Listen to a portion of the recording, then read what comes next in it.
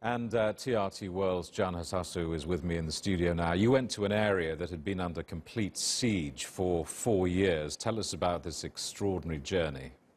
Actually, we went there with the Turkish Red Crescent, and it was a tough journey because we uh, drove with uh, our trucks in a dried uh, riverbed.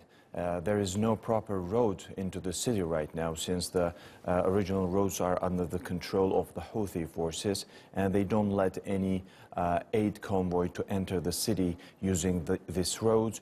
The habit, I mean, the people who are living in this city, they are using this rough terrain to get uh, their uh, supplies uh, to the people inside the city.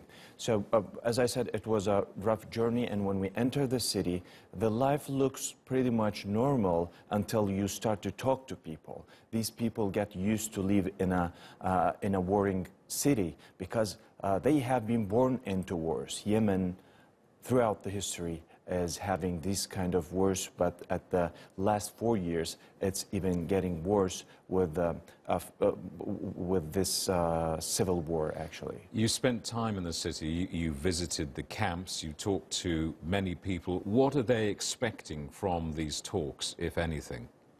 Even though they really don't, they lost the faith in, in and uh, this kind of talks and the support uh, of the international community, but they still have nothing but this. So they hope that uh, a, a, solution comes out of these talks because the port of Hodeidah, if this uh, talks is not going to solve the whole problem, could solve their uh, daily needs, uh, the problems of daily needs. If the port of Hodeidah opens uh, to the international aid convoys, that is uh, a major, uh, I mean, part of their daily uh, problems, actually, because they don't have supplies, they don't have food, they don't have uh, medic medicine. So opening of the roads and the port is, by itself, a big step forward.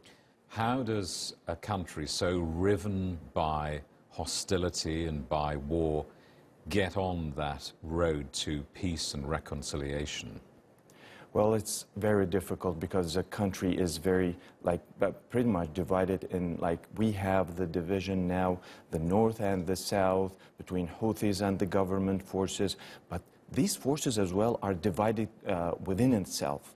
And when I was in Sana'a, people were talking about collisions inside, uh, I'm sorry, in Aden, uh, were talking about clashes between government forces, fractions of the government forces, among the, themselves on nonsense uh, things, basically controlling some specific area or controlling some uh, business in the uh, place. Same story as in the Houthi side as well. So uh, the, the, Yemeni people, ordinary people, they are really tired of this uh, fighting, and they are only hoping that the international community could solve it, since regional powers like Iran and Saudi Arabia and the United Arab Emirates are involved in this uh, war as well. They are hoping that the international community could come out with a solution that they could uh, have real peace.